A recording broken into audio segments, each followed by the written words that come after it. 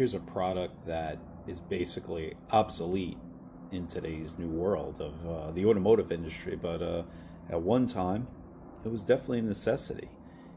And some of you are go, well, what the hell is it? Yeah, it's ugly. I am taking it off. It, but it's a protectant because, see, you would have to use keys in order to open and lock your door.